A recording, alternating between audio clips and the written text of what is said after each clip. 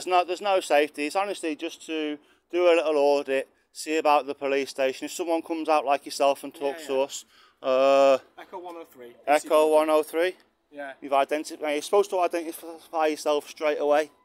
uh, I am clearly identified straight away. By No, but I could have been a bit blind and stuff, so you should have said like, Yeah, you know, You, you turn around and saw me coming, so Yeah. I think that's fine.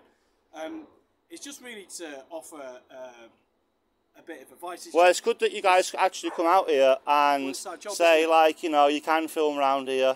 I haven't uh, said that. What I'm You can film in public, sir. what, what I'm I'm politely asking you to do is not uh, film uh, off-duty officers going to and from a place of work, just from a safety point of view, and then Right. publishing it online. Um, just from a safety aspect. But you're allowed to film in public. Um, See, that's film- the thing, isn't it? filming, filming police officers going to and from. I'm a place of registered work. journalist, though.